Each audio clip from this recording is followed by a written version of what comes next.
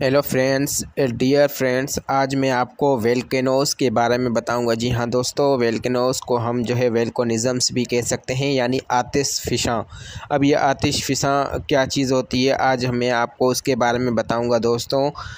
ज़मीन के ऊपर जो ये पहाड़ बने होते हैं, उस पहाड़ों के अंदर एक आग आतिश फ़िशा जो है वो बन रही होती है, चाहे वो अंदर हो या बाहर हो। अगर अंदर हो तो उसको हम मेगमा बोलते हैं, और अगर वो लावा बाहर निकल कर आ रहा तो उसको लावा बोलते हैं। दोस्तों वेलकिनोज़ क्यों बनते हैं? दोस्तों, वेलकिनोज़ तब बनते हैं जब कॉन्टीनेंट प्लस ओशियन के टकराने से और ओशियन प्लस ओशियन की जो प्लेटें आपस में टकराती है तो उसकी वजह से ये वेलकोनिज़म्स बनते हैं। अब इसकी तीन इकसाम होती है नंबर वन पर जो है वो एक्टिव वेलकेनोज़ होते हैं। ये वेलकेनोज़ जो है वो तब बनते हैं। अभी तक ये, इसको एक्टिव इसलिए कहा जाता है क्योंकि ये जो है वो एक मुकम्मल वक्त के तौर पर निकलते हैं। ये बन रहे होते हैं। इसके अंदर जो है वो लावा और मेगमा मौजूद होता है और ये इसकी हम कब बता सकते हैं कि ये किसी भी टाइम फट सकता है इसकी,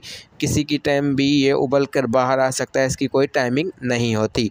उसके बाद है वो टॉर्मेंट वेलकेनोनिज़म्स टॉर्मेंट वेलकेनोनिज़म्स भी एक लावे की किस्म है, यानी यूँ कह लें कि एक आतशफिशा है वेलकेनो है और इसके अंदर भी लावा और मेगमा मौजूद होता है और ये टाइम के मुताबिक जो है वो इस वक्त ये ठंडे पड़ गए हैं, कमज़ोर पड़ गए हैं और मुर्दा हो चुके हैं, लेकिन चुनाव से कि इसको कोई टाइम नहीं है, ये कभी भी फट सकते हैं। यूँ कह लें कि इसके अंदर जो है वो हम प्रॉपरली तरीके से ये नहीं बता सकते कि ये फट सकते हैं या नहीं फट सकते। उसके बाद लास्ट पर जो है वो स्टंट वॉल्केनोनिज़म्स है। ये स्टंट वेलकनोज जो है वो आ, इस दौर के हिसाब से ये बिल्कुल ही ख़त्म हो चुके हैं। इनके कोई चांसेस नहीं है कि ये दोबारा बन सकें या दोबारा इस ज़मीन में से बाहर निकल आ सकें। दोस्तों आई होप कि आपको वेलकोनिज़म्स के बारे में पता चल गया होगा।